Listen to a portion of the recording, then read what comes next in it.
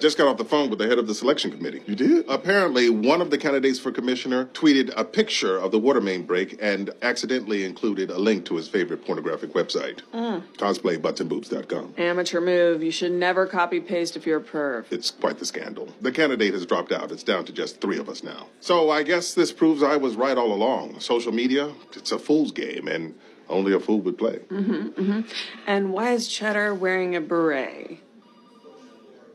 Uh, Kevin saw your photos and was amused, so we started an Instagram account for Cheddar, who now has over 14,000 followers. it's an incredible feeling.